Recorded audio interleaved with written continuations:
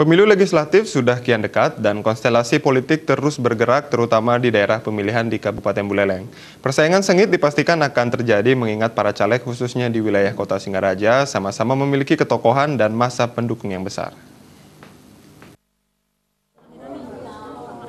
Persaingan sengit dipastikan bakal terjadi di dapil satu kota di Kabupaten Buleleng. Dari jumlah total sebanyak 45 kursi untuk DPRD Kabupaten Buleleng, hanya 8 kursi saja saat ini diperebutkan di dapil satu kota Singaraja. Hal ini mengalami pengurangan yang semula 10 kursi karena pertumbuhan jumlah penduduk yang begitu besar. Di samping itu, caleg yang berkonsentrasi di seluruh Buleleng mencapai 445 orang calon dari 16 parpol. Mereka merupakan caleg yang memiliki ketokohan dan masa yang banyak. Tentunya persaingan sengit bakal terjadi karena dalam pemilu sebelumnya, Partai PD Perjuangan mendominasi empat kursi di dapil kota. Pengamat politik Wayan Ridang mengatakan, persaingan sengit di dapil kota akan bisa munculkan partai baru yang meraih kursi di DPRD Buleleng. Penyebabnya, sistem baru saat ini menyebabkan beberapa partai yang sebelumnya eksis terancam terdegradasi dengan semakin kuatnya partai-partai baru dalam menggalang dukungan.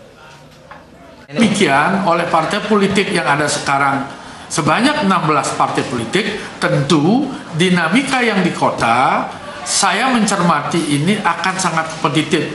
PDI yang dulu eh, empat senantiasa pertanyaan lebih lanjut adakah strategi dan rumusan untuk menambah barangkali atau stagnan atau juga partai-partai lain karena saya mencermati dari saya seorang pengamat itu adalah calon-calon yang di dapil kota ini adalah mereka-mereka yang memiliki ketokohan.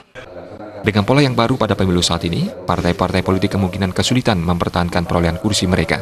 Para caleg incumbent maupun pendatang baru pun memiliki trik tersendiri untuk mendulang suara konstituennya.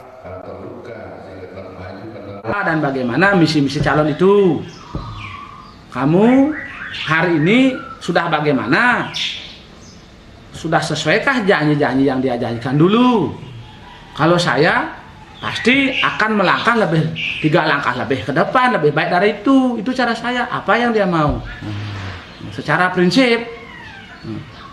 Ketika kita bicara dalam konteks partai, tapi dalam konteks pribadi kami sebagai kandidat juga yang notabene incumbent, saya kira tidak jauh beda dengan teman-teman yang sudah dilakukan.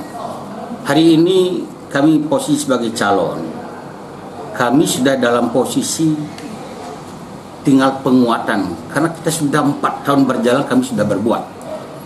Karena apa yang kita lakukan adalah bentuk daripada aspirasi yang kita uh, lakukan. Kini publiklah yang menentukan hak suaranya kepada caleg yang telah terdaftar. Masyarakat saat ini sudah paham, caleg yang hanya membawa janji tanpa memberikan bukti dan caleg yang memang kredibel. Komang Yuda, Bali TV.